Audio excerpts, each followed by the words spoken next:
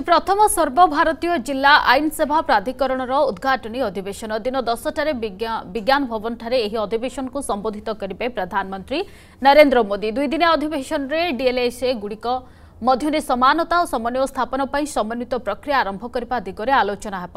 ଦେଶରେ ସମୁଦାୟ